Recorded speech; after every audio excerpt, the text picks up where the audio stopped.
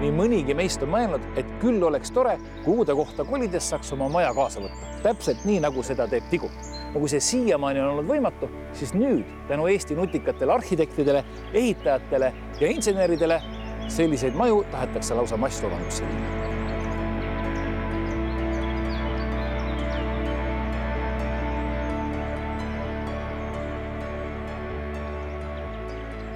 Nüüd on mul siis suurepärane võimalus esimest korda oma kodasse sisse minna. uks on betoonist. mingi sahel käis. sa poiss. sisse tulles on küll kohe selline, selline tunne, et appi, kuidas see ruum siia tekitati. väljaspoolt vaatad, et niisugune väikene karbikene, aga seest on täitsa nagu, nagu, nagu normaalne elamine ausalt öeldes. täitsa, see lae kõrgus on küll päris, päris selline korralik. elutuba ma vaatan oh, siin istud, vaatad telekat, köök on kohe siinsamas. Vau, see on, see on see, ma olen imestunud, siin on rohkem ruumi, kui ma arvasin, ilmselt need on just köögikapid, värgid, särgid on nagu ikka, eks ole. kraanikauss, pliit, huvitav, kus külmutuskapp on? kuskil on, ei tea. ma eeldan, et nagu külmutuskapp.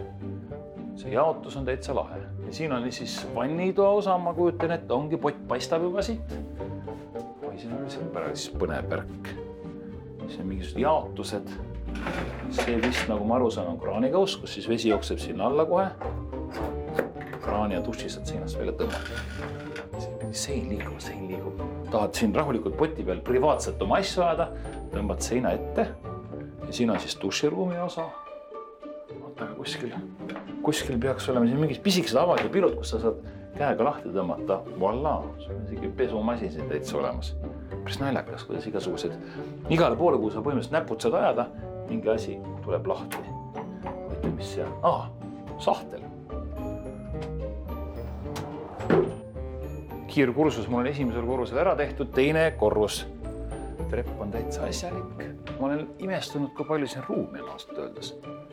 oh, siin on siis magamiskamber, mingisugused kapid ma eeldan, et igal siin on ka jälle mingid kapid näha siin kuskil, oi, siin on mingi elektrisüsteem, oo, väga põnev. ja siis on sul niisugune väikene voodikene, ma ei tea, kuidas aknast välja saad piiluda. kuidas see avaneb, kas ka mingi elektroonika või helistab, millega oh.? siin on kapid, ma arvan, ma pakun, palun, saab isegi mobiili laadida endale siin. täitsa nagu, täitsa asjalik asi ausalt öeldes ma ei kujuta ette, kuhu ma oma lapsed ja koera ja naise panen, aga täitsa mõnus. vaade on ilus ja ma olen imestunud, see maja on seestpoolt vägevam, kui ta väljaspoolt on.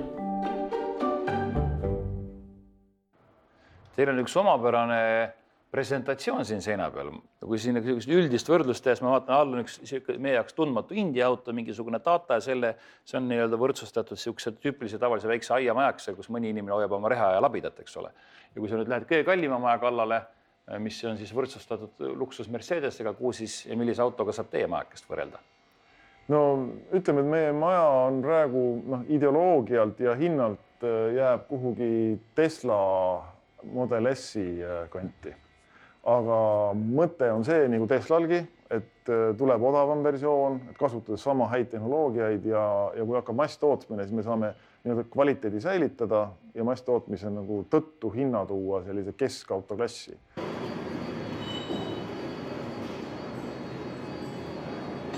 keskautoklassi. kui ma siin ringi vaatan, siis mulle tundub, et see on ikkagi minevikuhoone, aga te siin sees teete mingeid tuleviku asju, nagu ma aru saan nii et ongi siin reaalselt valate betooni, betooni nii-öelda. ja täpselt, täpselt ja... siin äh, valame paneele.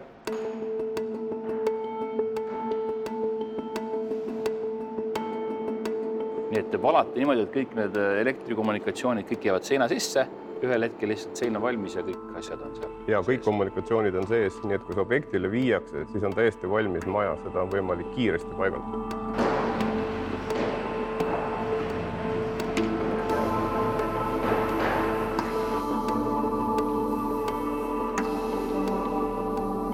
see on nüüd lõpp-produkt.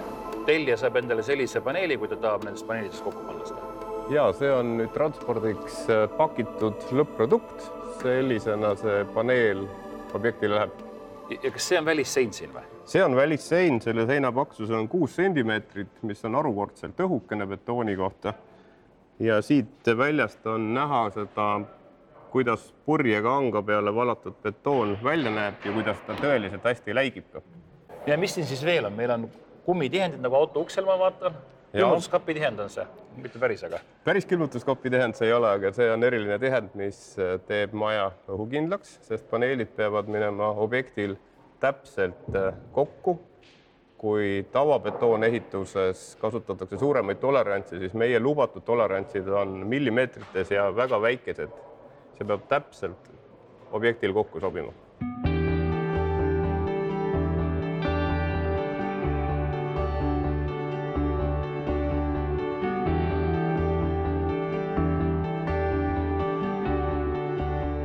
selle maja juures kõige keerulisem ja raskem oli, mis oli teie kui ehitajate, planeerijate jaoks kõige kõvem pähkel? no esimene keeruline asi oli üldse nii väike maja teha. no ma olen teinud neljakümne viie, viiekümne tuhande ruutmeetri suuruseid maju. Neid on lihtsam teha. et see väiksem maja on palju raskem kui noh, viiekordne maja, sest noh, siin hakkab iga millimeeter mängima ja, ja kui sa midagi muudad, siis muutub väga palju aspekte. Kui suur see maja on? ta on kakskümmend viis ruutmeetrit väljapoolt perimeeter. ja sees on palju ruumi? sees on koos teise korrusega kakskümmend kaheksa. see ongi nagu Šveik, kes oli seestpoolt suurem kui väljaspool. tuleb nii välja jah, tänu sellele teisele korrusele. on see ka selline nutikas maja, mingisugused nutilahendused, kuidas energiaklassiga lood on? tegelikult on ta selles kõige-kõige soojapidavamas klassis ja automaatika kohta või selle tarkuse kohta, siis jah, tänapäeva majad peavad olema targad juba ventilatsiooni tõttu. et kõige lihtsam asi on see, et süsi CO2 andur, kui saab aru, et inimesi on rohkem, siis ta hakkab rohkem välisõhku võtma. kui ta saab aru, et inimesi ei ole üldse toas, siis ta ajab väga aeglaselt sedasama õhku lihtsalt siin keerutab nii et need noh, niisuguste andurite ja mõõdikutega kütte ja ventilatsiooniseadmed on selline noh, paratamatus tänapäeva selles tehnoloogilises majas.